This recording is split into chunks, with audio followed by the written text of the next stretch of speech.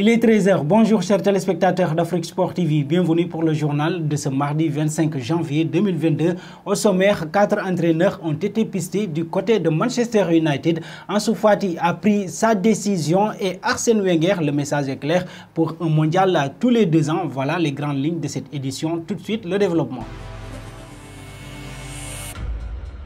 On démarre avec la Coupe d'Afrique des Nations. La légende de Chelsea, Didier Drogba, a identifié les Comores comme l'équipe dont l'Afrique est fière à la Coupe d'Afrique des Nations 2021 au Cameroun. Drogba a fait cette déclaration après l'élimination des Comores lundi soir. L'équipe des Comores s'est bien battue contre le Cameroun malgré un carton rouge reçu pendant le match. Cependant, ils ont perdu 2 buts à 1 contre le Cameroun.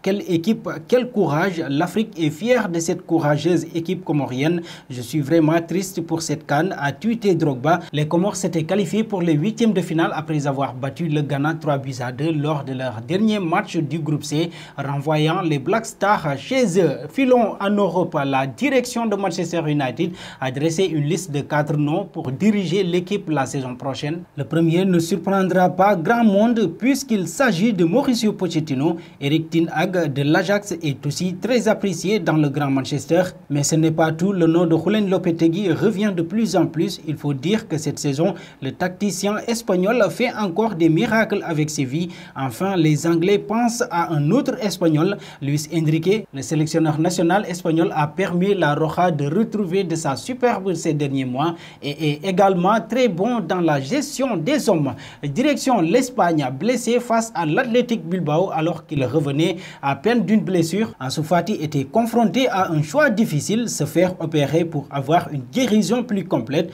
ou suivre un traitement conservateur et revenir plus rapidement après avoir rencontré sa famille et les services médicaux du FC Barcelone. L'ailier de 20 ans a finalement pris la décision de ne pas se faire opérer. Il suivra donc un traitement conservateur même si les risques de rechute sont plus importants avec ce traitement.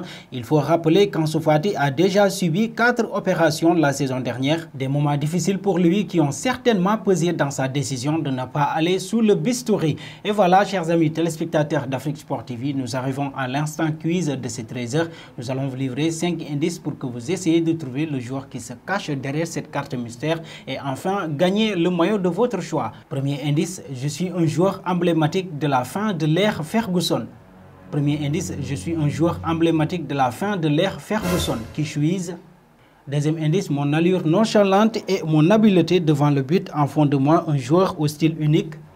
Deuxième indice, mon allure nonchalante et mon habileté devant le but en font de moi un joueur au style unique qui suis.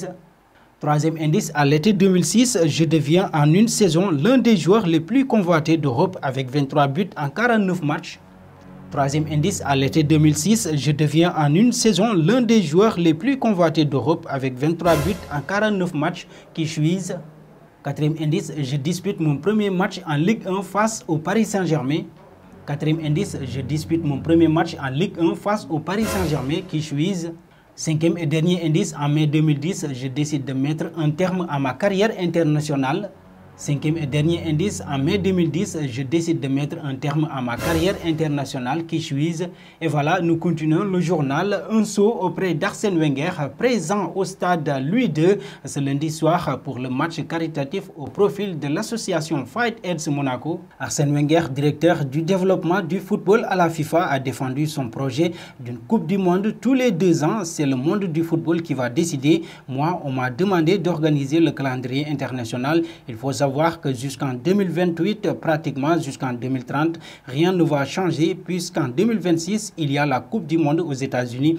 En 2028, il y a les championnats d'Europe et puis après, les pays vont décider. Moi, je propose un arrangement du calendrier pour qu'il y ait moins de points de friction entre les équipes nationales et les clubs en regroupant les matchs de qualification et cela va se décider en 2024.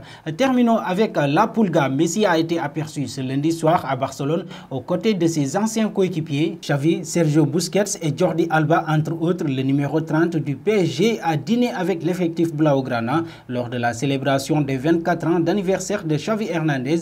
À en croire Mundo Deportivo, l'anniversaire du coach Blaugrana n'est qu'un prétexte car au cours du dîner, les quatre hommes, Messi, Xavi, Busquets et Alba, ont soulevé plusieurs sujets dont les difficultés que traverse le Barça, les soucis d'adaptation de Messi au PSG et ses difficultés sur le terrain ont été aussi évoqués durant le dîner. Lionel Messi lui-même l'a peut-être regretté à la vue du harcèlement de la presse espagnole qui ne l'a pas quitté d'une semelle. Objectif braqué au plus près avec une question, fera-t-il son retour à Barcelone? Bien évidemment, la Pulga n'a pas bronché comme l'a expliqué Marca. Et voilà, chers amis téléspectateurs d'Afrique Sport TV, nous arrivons au terme de ce journal. Merci de nous avoir suivis et on vous donne rendez-vous à très bientôt.